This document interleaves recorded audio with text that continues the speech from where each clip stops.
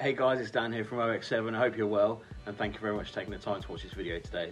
So I'm working with a company that specialises in the higher education sector.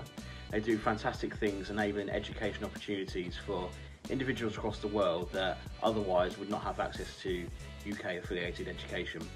Ultimately, students complete two years of education from their home country and then complete a third year in the UK, allowing them to receive the same degree as they would in the UK, but at 40% of the cost. So a really, really great um, thing from the company.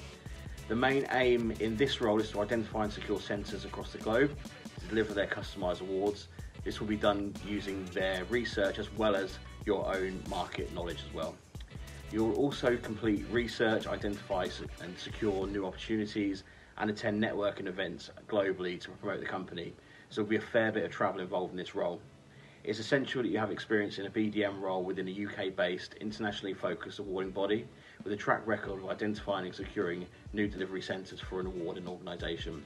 This is a hybrid role. Um, they have offices in High Wycombe and soon um, soon they'll have offices in Victoria, London as well. So you need to be commutable to, to either of those offices. You'll get a salary of between 50 and 55,000 for this one.